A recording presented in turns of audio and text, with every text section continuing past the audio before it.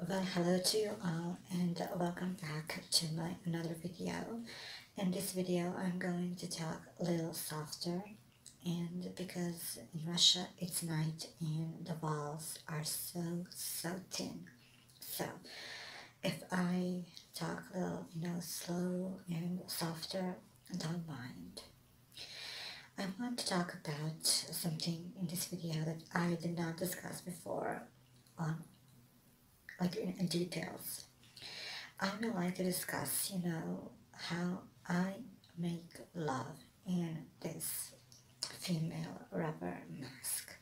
If you're wondering what is this, this is the reflection of my camera. So, and it's the so yes, uh, let me continue telling you a story how I make love in a rubber female mask. When I bought this mask, I was so, so worried that maybe, you know, it will be so hard for me to like make love and uh, to have contact with a man in this rubber mask. It was so, so tight and I couldn't like put it on me and I use this. That is the powder who helps me, you know, put the mask on. If you don't know what it is, I have the video about it. How I'm putting the mask on and how I am putting the mask, taking the mask off. So, like I said, when I first bought this mask, I was continuing, I was thinking all the time, how was it, you know, how it's possible to make love to somebody, you know, and uh, it will be hard or it will be easy, how it will be. And when I first did it, I was so, so ashamed for only one reason. When the guy tried, you know, to just touch me on my back, it was so, so wet from my, you know, it was so wet that uh, for the, from the heatness that this mask caused. And that heatness is continuing on and on and on. Never found a solution for this to go away. I never find a solution for, you know, like stop, you know, like sweating. So it was constant. And every single time that I make love to somebody, it was like a pressure. I, I did not enjoy in it because the mask did not allow me to enjoy. And that was the only reason why. It, it's because I was sweating so much.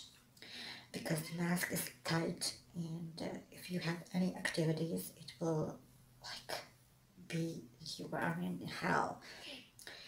And uh, yeah, I will constantly do this.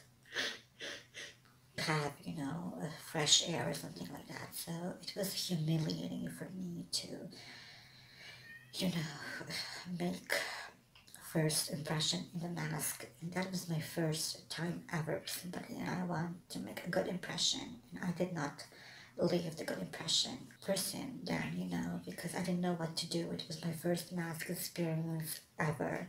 So I didn't know you know some tricks that I know now. And you know you always have to upgrade and update yourself for everything in life. And I think that is what I needed to do back then.